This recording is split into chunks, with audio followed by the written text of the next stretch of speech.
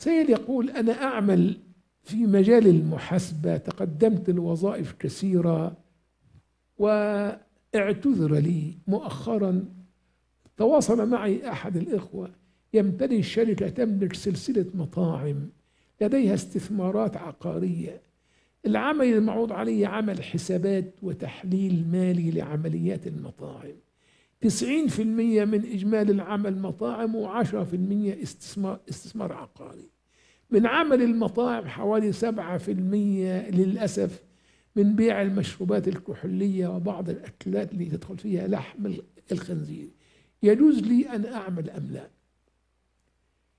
إذا كان النشاط الأصلي مشروعا وتخلله يسير تابع من المحرمات وكان عملك فقط في المحاسبة وتحقيق البيانات فلا حرج عليك في العمل في هذه الوظيفة وتطهر دخلك بأن تتخلص من نسبة منه توازي ما شابه من عمل محرم.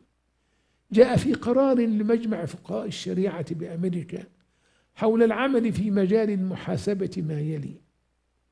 العمل في مجال المحاسبة مشروع. لأن المحاسب يقوم بعمل فني بني على أدوات عمل مشروعة والأصل في الأشياء الإباحة ولا حظر إلا لدليل شرعي إلا إذا كان في مؤسسات تباشر الأعمال المحرمة كالاتجار في الخمر أو الخنزير فإنه لا يجوز. إلا إذا وجدت ضرورة بضوابطها المقررة شرعا على أن تقدر هذه الضرورة بقدرها. ويسعى في إزالتها وتستصحب نية التحول عن هذا العمل عند أول القدرة على ذلك. أما إذا اختلط الحلال بالحرام في الأعمال التي يتولى المحاسب تدقيقها كما في الصورة المسؤول عنها فإن غلب الحلال ساغ الترخص في ذلك للحاجة ويتخلص من أجره بنسبة ما قام به من عمل محرم مع بقاء الشبهة التي تستدعي من العامل البحث عن عمل آخر لا شبهة فيه.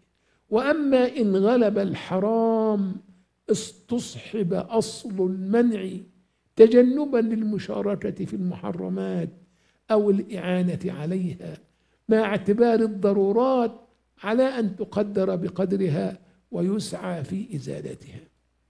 ولا بأس بعمل المحاسب كأجير مشترك.